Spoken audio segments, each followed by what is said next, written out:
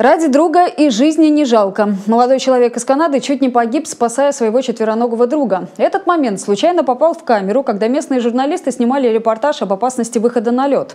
На кадрах видно, что щенок французского бульдога оказался в ловушке. Выбежав на тонкий лед, он не смог вернуться обратно. Хозяин пушистого питомца Дункан МакКивер, не раздумывая, бросился на помощь. Несколько раз, проваливаясь под лед, парень и сам чуть не погиб.